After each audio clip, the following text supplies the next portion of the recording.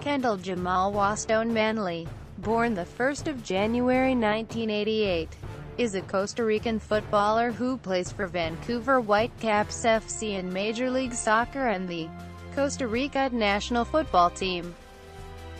Club career Waston made his professional debut for Saprissa in 2006 on May 2012 Waston returned to Deportivo Saprissa to be part of the first team.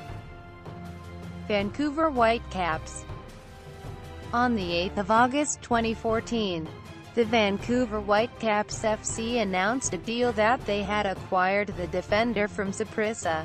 Waston joined Vancouver Whitecaps FC, who were in the midst of their 2014 MLS season.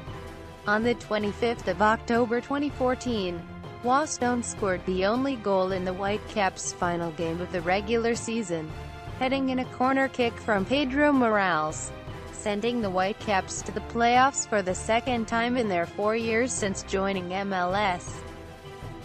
International career He made his senior debut for Costa Rica in a May 2013 match against Canada and earned, as of December 2014, one more cap in the 2014 FIFA World Cup qualification against Honduras. International goals. Honors